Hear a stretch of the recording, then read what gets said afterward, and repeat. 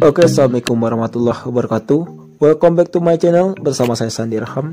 Dalam video kali ini saya akan berbagi tutorial bagaimana cara untuk mengatasi jika akun Instagram kita terkena phishing atau terkunci sementara guys. Contohnya seperti ini guys. Ini adalah akun Instagram yang terkena phishing. Di sini meminta bantuan konfirmasi bahwa Anda memiliki akun ini.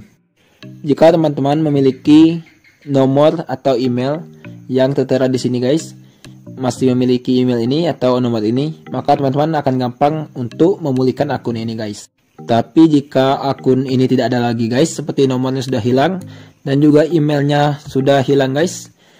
Ini adalah email yang terkait di akun Instagram kita guys. Apabila email ini sudah tidak ada lagi dan juga nomor ini hilang juga guys, sudah lama tidak dipakai.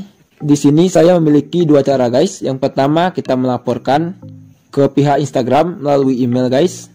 Itu bisa kita lakukan. Itu sudah ada tutorialnya di video sebelumnya guys. Untuk membuat laporan jika kita mengirimkan laporan permasalahan Instagram kita guys untuk memulihkan akun jika peninjauan dari pihak Instagram ini tidak memenuhi syarat dari komunitas eh, Instagram yang kita kirimkan tersebut maka kita tidak mendapatkan balasan email kembali guys. Tapi ada satu cara terakhir guys untuk bisa kita memulihkan akun kita kembali guys. Cara ini sudah terbukti, sudah pernah saya lakukan guys dan alhamdulillah sudah berhasil. Sekarang kita kembali ke menu awal dulu. Begini guys. Jika teman-teman uh, masih ingat nomor teman-teman yang hilang itu, maka teman-teman simpan dulu di HP teman-teman nomor yang hilang tersebut. Seperti ini contohnya kita simpan nomor ini.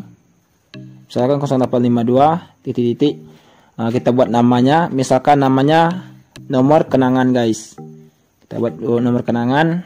Nah sekarang kita simpan misalkan. Nah sekarang kita kembali. Selanjutnya kita buka atau kita cek nomor tersebut di WhatsApp guys. Sekarang kita cek nomor tersebut di WhatsApp. Kita cek nomor tersebut di WhatsApp. Misalkan ada pemilik baru di nomor tersebut guys. Langkah selanjutnya kita harus menghubungi nomor tersebut guys. Seperti ini contohnya ada dua guys. Ini ada permintaan teman-teman ingin mengembalikan akunnya guys. Jadi saya coba dan yang satu itu sudah berhasil guys. Yang ini.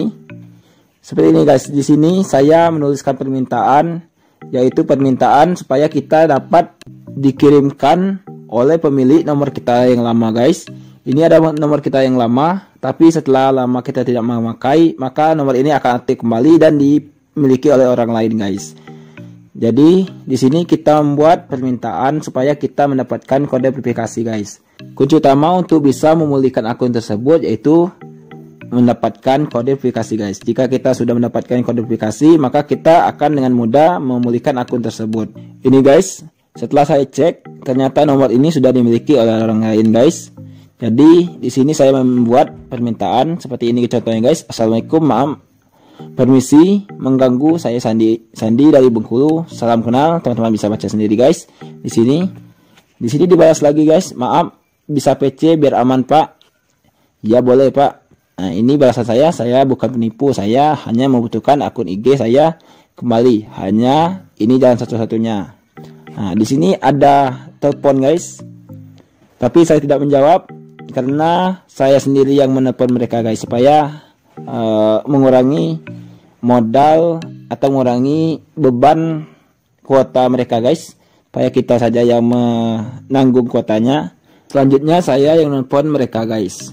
Pemilik nomor ini. Jadi setelah kita melakukan PC tadi kita ngobrol baik-baik dengan pemilik nomor ini guys. Setelah saya mengklik permintaan kode keamanan maka muncul di SMS pemilik nomor ini guys. Maka pemilik nomor ini mengirim ke saya seperti di contoh ini guys. Ada 6 angka ini. Ini sudah saya masukkan ke Instagram dan Instagram itu tersebut uh, pulih kembali guys. Inilah cara terakhir yang pernah saya buat guys untuk memulihkan akun Instagram yang lupa nomor atau lupa email guys. Inilah cara terakhir dari saya guys. Jika kita kehilangan email dan juga kehilangan nomor HP-nya guys. Selebihnya belum ada. Semoga aja saya bisa mendapatkan pengalaman baru yang bisa memulihkan akun Instagram terkena phishing atau terblokir sementara sedangkan kita tidak memiliki nomor dan nomor HP-nya guys. Semoga saja saya bisa mendapatkan cara terbaru dan juga lebih gampang guys. Dan tentunya guys, lebih baik atau lebih bagus dari tutorial kali ini guys. Oke demikian video kali ini. Semoga bermanfaat. Jika teman-teman suka dengan video ini silahkan like. Dan jangan lupa subscribe serta loncengnya untuk selalu tahu informasi terbaru di channel ini. Bersama saya Sandi Raham mengucapkan terima kasih